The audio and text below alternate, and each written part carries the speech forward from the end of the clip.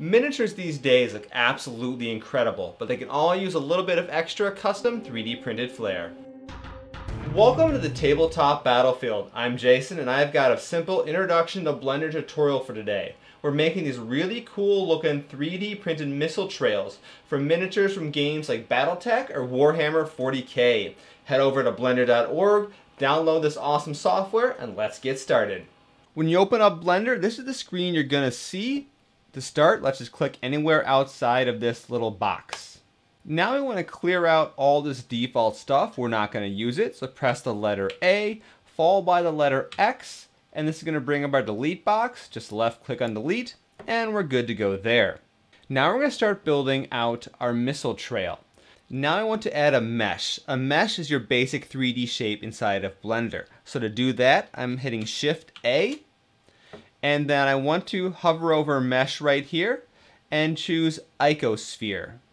Whenever you add something in Blender, there'll be a little dialog down here in the lower left hand corner. Click on this triangle. And for subdivisions, I want to set that to 4. This is going to add a bit more detail to our shape. Then I want to set the radius of the sphere, so this is half the diameter. I'm going to set it to 1.2 so it's going to be a little bit bigger than default. And now one note about measurements here, this little M, because in Blender, the default measurement size for real world things is a meter. But when you export these objects out for 3D printing, what is a meter inside Blender is going to be one millimeter for your slicer program. So just think of one meter as one millimeter in this case. All right, so we're going to left click somewhere on the screen to get rid of that dialog box. Now to look around your viewport, you can press down your middle mouse button and move your mouse cursor around. To pan the screen, hit the shift key, then the middle mouse button, and you can move things around like that. So our first step here, I want to left click on our sphere. It's going to turn orange. And then I want to jump into edit mode. So press tab, and this is going to turn on edit mode here inside Blender. And what you're going to see now is there's all sorts of little dots. A mesh, which is the basic 3D object in Blender, is made of a bunch of little dots called vertices, and that's what you're seeing right here. I want to rotate my viewport until this green line here is kind of running through the middle of our sphere, at least where you can see where it runs to the middle of the sphere. Left click somewhere outside our sphere to deselect all the vertices. And what I want to do is zoom in. So to zoom in, you can scroll in with the mouse wheel. Scroll out is going to be zoom out. And I want to select the vertice where this green line basically intersects our sphere, which is right there. So I'm going to left click on the vertice and I'm going to turn that one orange. I'm going to zoom out a bit here and look at a slightly different angle. And what I want to do is create an acorn shape. So to do that, I'm going to go up here to the top bar and there's a little kind of, looks like a sun with a planet's orbit in it. It's called proportional editing. I want to click and turn that on. It turns blue. And then the drop down next to it, I want to select sphere. I'm going to press the letter S for scale. In this case, it's going to let me manipulate some of the vertices here of this object. So I press the letter S. And now what you see is this little gray outline circle. You want to use your mouse wheel to make that maybe about half the size of the sphere itself. As you move your mouse cursor towards the vertice, you're going to see the right side of the mesh scale down and get a little bit smaller. So you can see now I've got a bit of an acorn shape. I'm going to turn off proportional editing. I'm done with that now. I'm going to press tab to return to object mode. Now object mode is where you manipulate objects in their entirety. Edit mode is where you can go in and manipulate individual pieces of the objects, like vertices like you saw there. What I want to do is take a number of these and align them in a line along this green line and make the rough shape of a missile smoke trail. First things first, I want to press the letter N on my keyboard, and it's going to open up a whole bunch of numbers over here, which describe this particular object. We're not going to worry too much about them, but I'll explain there's one section we care about right here, that's called scale. But what I need to do is left click on our little acorn here. I'm going to press Shift D to duplicate. And what's going to happen now, a new object is going to be created, and as I move the mouse around, the object is going to fly over all the screen because I basically am controlling its placement right now. Now, long story short, placing objects in Blender can be a little tricky if you're not used to it. So what we're going to do in this case is constrain the movement to an axis. With 3D modeling, just like the real world, there's three axes, right? You have sort of forward and back, left and right, and up and down. Now the green line I keep talking about here is called the y-axis. And in this case, we're going to use that to represent forward and back. So at this point here, with I still have this object kind of being dragged around, I want to press the letter Y. What that just did is it locked it to be able to move only along the y-axis. And I want to place it so it's overlapping our previous object a little bit, and then left mouse click to put it down. And it looks halfway decent, alright. Just like in edit mode where you use the letter S to scale vertices, you also use the letter S in object mode to scale entire objects. Press S, and you're going to move your mouse cursor towards your object. And what you want to look at is those little numbers I brought up there. You want to make the scale value go down to about 0.9 because that means it's going to be about 90% of the original size. And then left click. So you can see here my scale values are all 0.906. And if I move my view around, you can tell the new acorn's a little bit smaller than the previous one. I'm going to repeat this a few more times. Each time watching this number here for scale go down by 0.1 until the very last acorn is going to be a scale value of 0.5. So shift D, Y, move it out, scale it down until I'm down to 0.8-ish. That's about right. Make sure that they're overlapping a little bit. If you find they're not overlapping, what you can do is you can use the G key, which also allows you to move objects around, followed by the Y to constrain it to the Y axis and move it backwards until it overlaps a little bit. Okay, let's do this three more times. Alright, so you've got something that's a very rough pile of acorns. It's kind of like a missile trail, right? Kind of. Let's start adding some more interesting detail to it. And what I first want to do is adjust the position of each of these acorns to the left or the right a little bit. Therefore, it's not like a nice uniform stack. It's got a little bit of turbulence in the missile engine. So starting with the second one here, I want to left click on it. I want to press G to move it. But this time I want to lock it to the X axis, which is that pink line you see running across your screen. So press X, and then I'm going to move this one up a tiny bit this one down a tiny bit, G, then X over, G, then X, and there you go. Now you've got your acorns a little bit offset that way, and I want to do the same kind of thing going up and down. So once again, let me select the acorn I want to move, press G, and this time I want to lock it to the Z axis, so press the letter Z. This is your up and down in the world of Blender. And do the same kind of thing just adding a little bit of offset for each of our acorns. All right, so now you've got something that looks a little bit more like a randomized turbulent trail. At this point, let's save our file, Control S, and save the file wherever you want. And I also want to introduce the undo operation. Let's say I somehow accidentally delete that guy right there. Control Z, that can undo operations just like other programs. In Blender, most of the time when something seems to go horrifically wrong, pressing Control Z a few times is going to be your best friend. So what's next now is I want to merge all these acorns, which are currently individual objects, and I want to merge them into one. So I'm to left click on the last one, and then holding the shift key, I want to then left click on each acorn behind it, and then press Control J to join them all together into one object. Now it's time to take the stack of acorns and make it look more like smoke. How we're to do that is use something called a modifier. Now modifiers in Blender can be found over here in the right hand side underneath this little wrench, so click that wrench right there. And a modifier, as the name suggests, is a mathematical operation to alter how an object in Blender looks or functions or just something like that. So what we want to do is click on Add Modifier, and the first one I want to choose is Displace. Now you're to see it get all puffy. We'll fix that in a moment. And what this does is we can use something called a texture to alter how this object looks. Texture in Blender is kind of what you might imagine in the real world. It's like a pattern or something else that normally appears on the surface of an object to alter how it visually looks. However, in this case, we can take that visual distortion and turn it into actual physical distortion of our object. For these next few steps, be sure to follow them exactly. I want to click this new button right here, and all of a sudden they get really small. We'll fix that in a moment. Where it says texture here, I want to left click there, and I'm going to change the name to smoke, just so I know what I'm dealing with.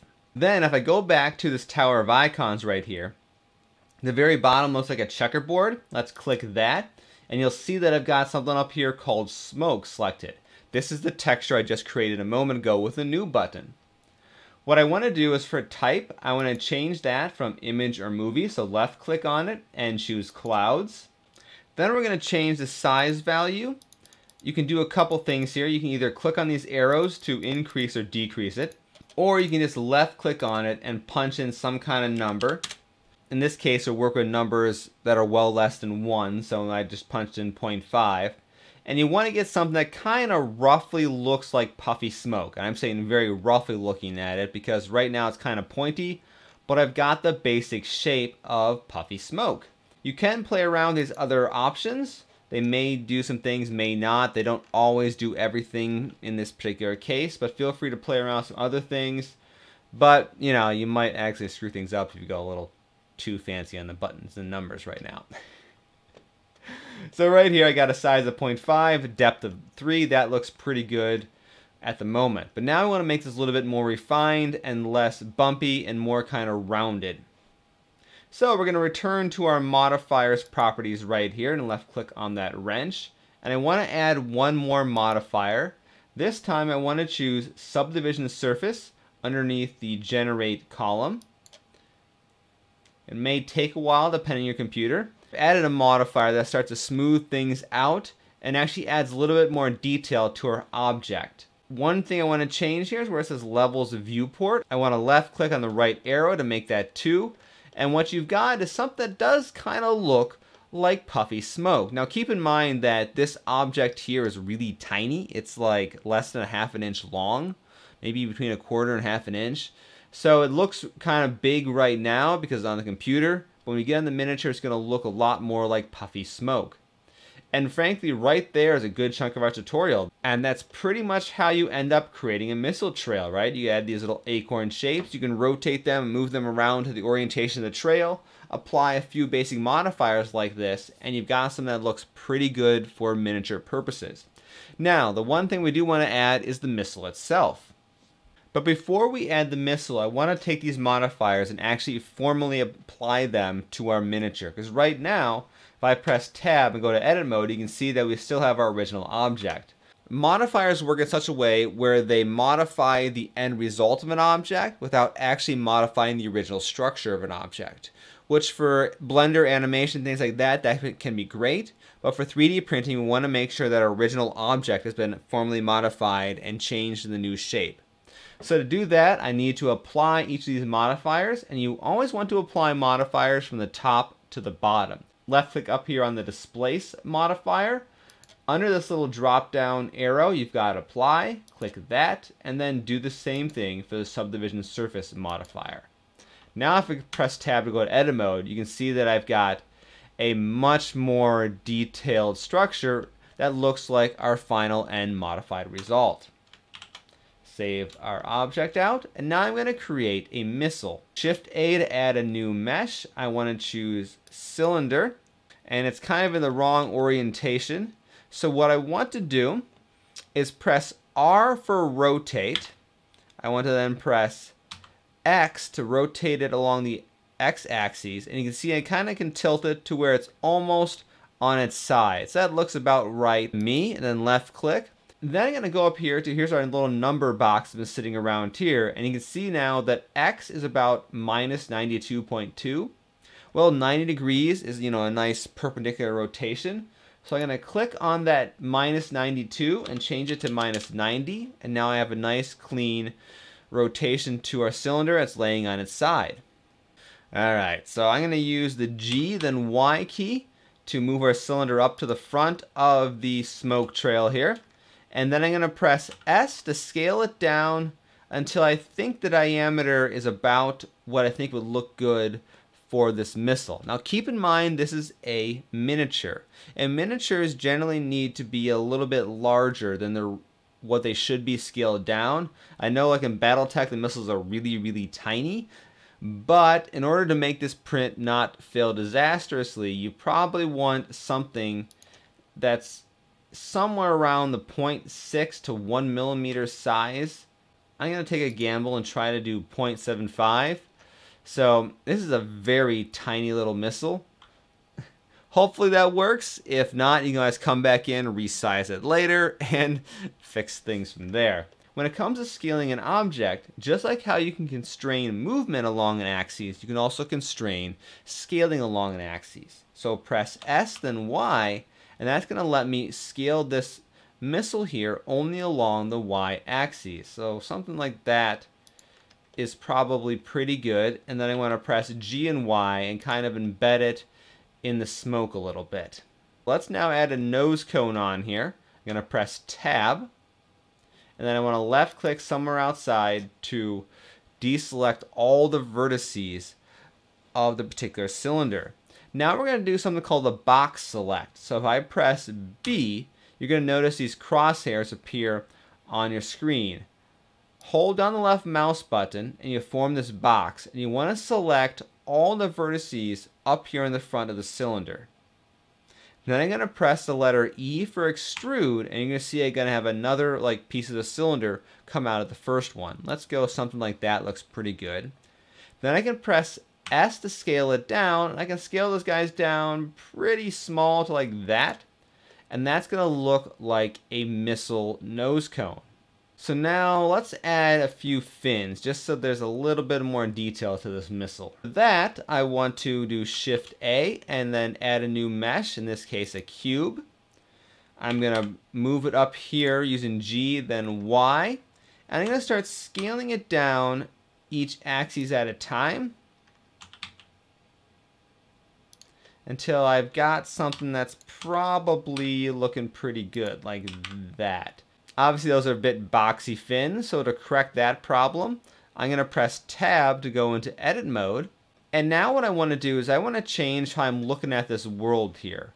Hold down Z and you're to bring up a bunch of options. I want to move my mouse cursor to wireframe and click that. What you're looking at now is a see-through x-ray version of your object. Here's another fun tool I'm going to introduce you to. It's called the loop cut. Do control, then R, and you can see now there's a little bit, if I put my mouse cursor in the right spot, there's a bit of a yellow rectangle right there. Just left click and then left click again. Don't move your mouse for doing that, just left click twice. And then what you've got going on here is basically added some more detail to my um, mesh for the fins and then I want to left click outside the mesh and then using a box select I want to select those two.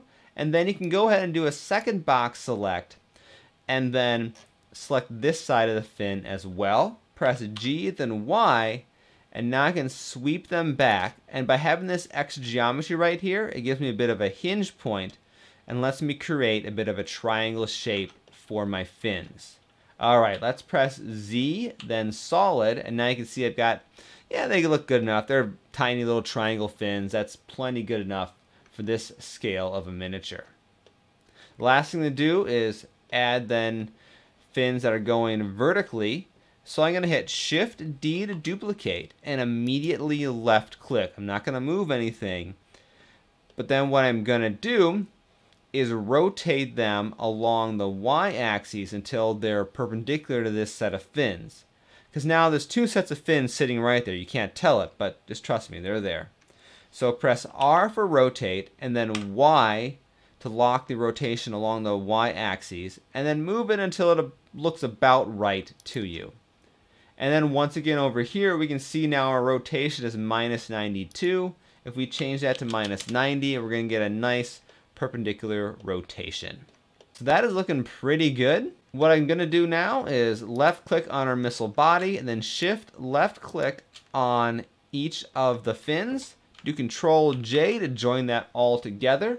And then I want to do shift D and move an extra copy off to the side. That way, if I ever want to make more of these missile trails, I've got another copy of the identical missile that I can use for that add-on effect to my miniature. Finally, left click on the missile, shift left click on our missile trail, control J to turn that all into one object. And we're just about ready to send this guy over to our slicer program and print it out. The very last step is to press tab to go back into edit mode. And then I want to use that Z and then choose wireframe. If you made it this far in the tutorial, I think you can handle a little bit more advanced navigation techniques, and it's really not that advanced. So on your numpad, which is a set of numbers on the right side of the keyboard, press 7, and now you notice you're looking pretty much straight down from the top view of your miniature.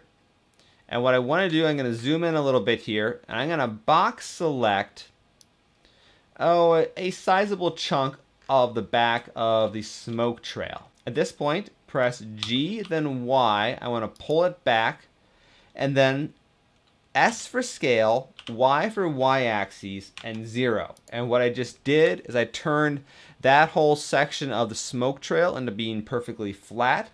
Press G and Y, and I want to move that back up against the end of the smoke trail. So now I've given basically the smoke trail a flat back. And the reason for that is it's going to make attaching this piece to your miniature a little bit easier, at least probably.